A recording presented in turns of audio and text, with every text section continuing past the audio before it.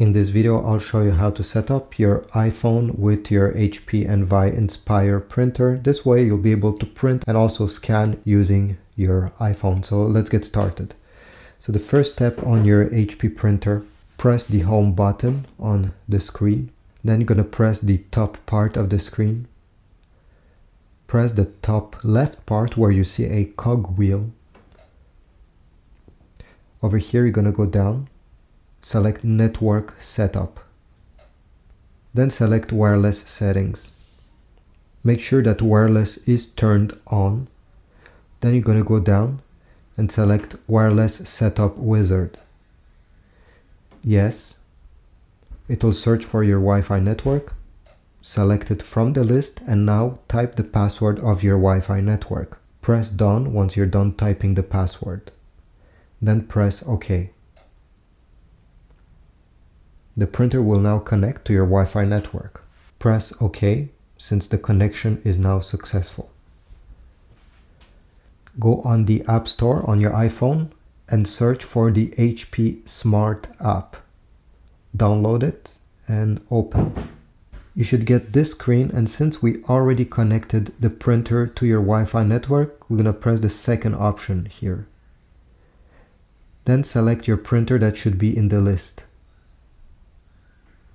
the printer has been added to the app. If we check on the top here, you should see it. You can click on it and you'll have a few options that you can change.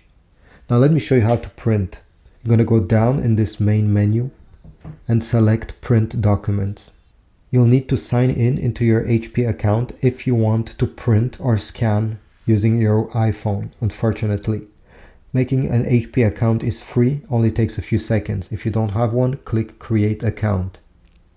If you have one, click sign in. Okay, now that I am signed in, I'll select the file that I want to print. So I'll go ahead and select this one. Then go over here, lower left side and press print preview.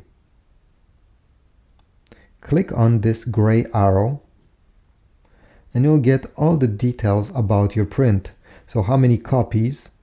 If you want to print on one side or both sides, if you want in color or black and white, the paper size that it will be printed on, orientation, just leave it automatic, and then press more options.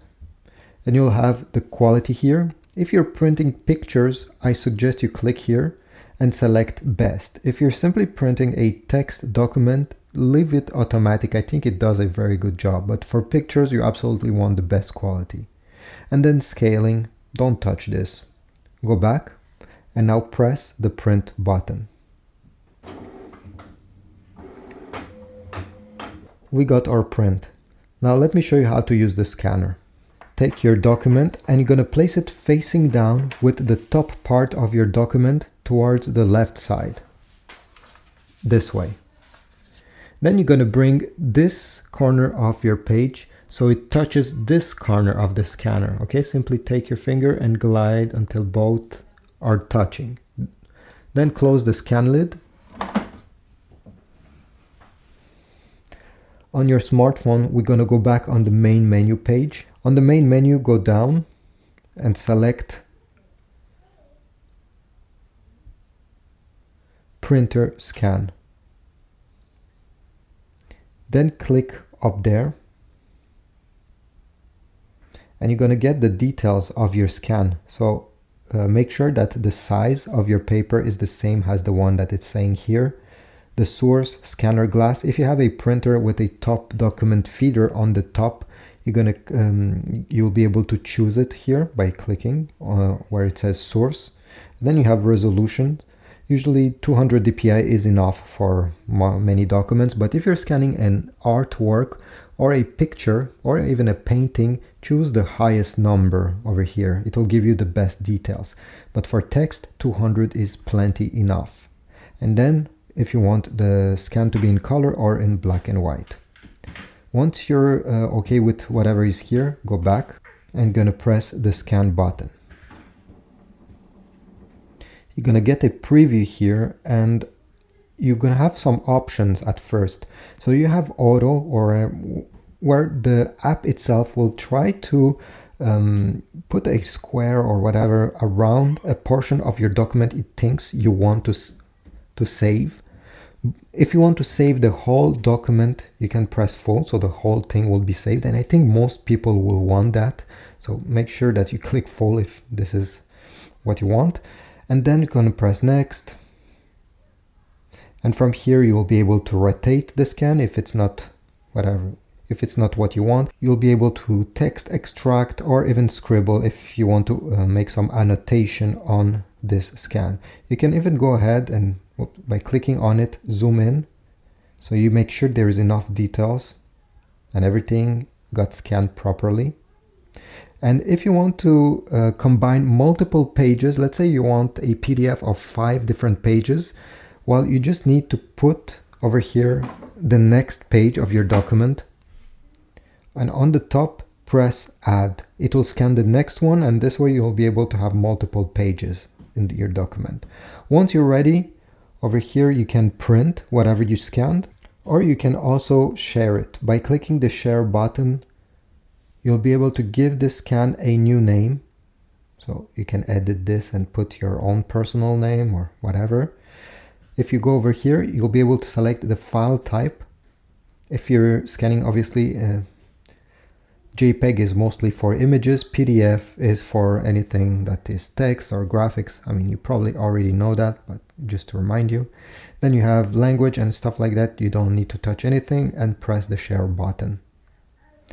Down below, you'll be able to have a few options to share it on social media, on email. And if you have any contacts, you'll see them here so you can share with them quickly. Let me just go back. And then you also have the option to save on your phone. By clicking this, you can give a name to your document. Again, select the file type and press save. File, file save to the media folder on your device. Press OK and this is about it. There's an option here to fax, but honestly, I never used it and I think no one will use it. So this is it. I hope this video was helpful. If so, please leave a like, subscribe, and I'll see you in the next video. First of all, make sure that this screen is turned on and then you're going to press on the top part of the screen like this. So this menu goes down. Then you're going to press the cogwheel that is on the top left corner. Press it once. And in this menu, we need to go down this way simply by sliding like on your smartphone until you see printer maintenance. Click on this option. Then you're going to go down